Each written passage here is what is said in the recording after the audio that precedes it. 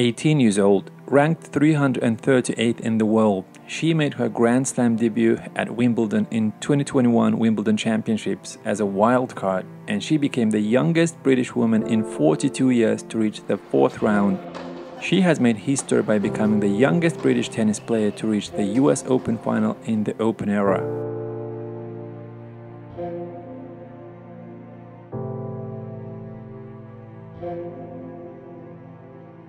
Star is born, and her name is Emma Raducanu. Who is Emma Raducanu? Before we get into it, just wanted to ask you to subscribe to our channel if you're interested in similar topics. Please like, share, and leave comment or ask a question. Despite being ranked 338th at the time, she beat three of the world's best players to get to the last 18 at the 2021 Wimbledon Championships, making her an overnight star but she was forced to pull out the championship due to breathing difficulties.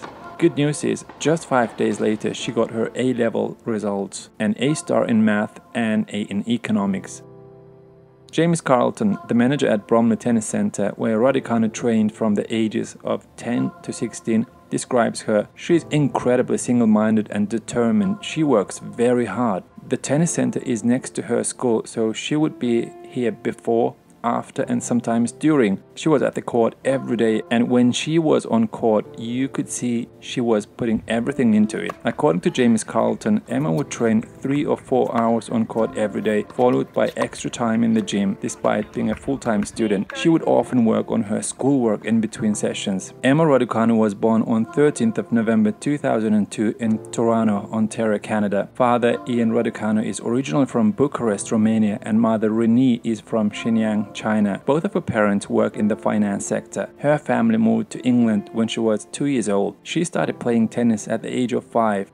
She attended Newstead Wood School, a selective grammar school in the London borough of Bromley. It was perhaps inevitable Emma Raducanu would have a career in professional sport, given the way her father pushed her as a youngster. She started off attending ballet classes, but her father decided sport was the way forward and had his daughter do horse riding, swimming, tap dancing, basketball, skiing, golf, go karting, and motocross, all alongside her tennis practice. Growing up, she looked up to tennis idols like Romanian Simona Halep and Chinese tennis star Li Na, and she often attributes her mentality and work ethics to these two tennis players.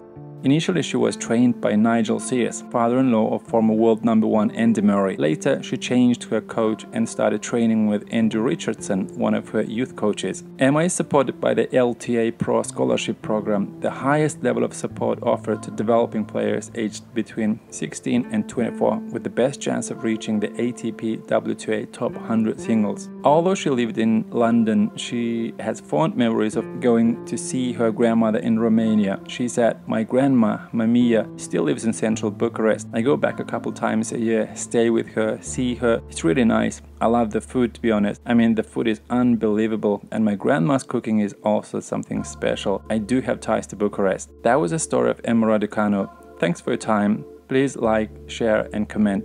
Till next time, bye.